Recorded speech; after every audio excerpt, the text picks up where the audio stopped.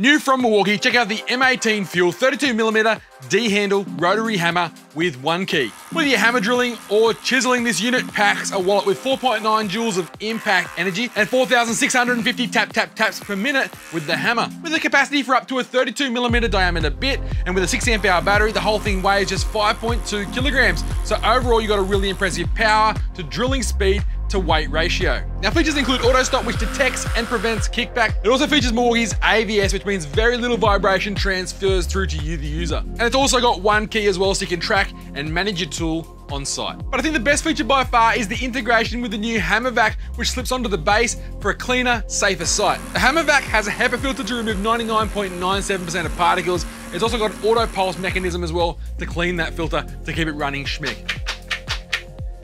There's the, that's it. It also comes with two different nozzles as well, which slip straight in or out depending on what size drill bit you're using. And with the press of a button, you can set both the depth in which it will plunge for consistent drilling. Then you've got another button there to set the length in which it extends up to 20 centimeters. And the catcher for all that silica dust has a simple vacuum port on it, so with an M or an H class vac, you can empty it safely. Now circling back to the drill controls, you've got variable control speed on the trigger. You've also got a forward and reverse just above the trigger, which is great for getting your larger bits out if they get stuck. You then got a larger dial up on top for changing your mode from hammer drilling to just drilling. You've also got chiseling and in between those two, there's a neutral mode for reorienting your chisel. And in terms of runtime from a single charge of a 6 amp hour high output battery like this one, you should be able to drill 22 19 by 100 mil holes quickly and cleanly.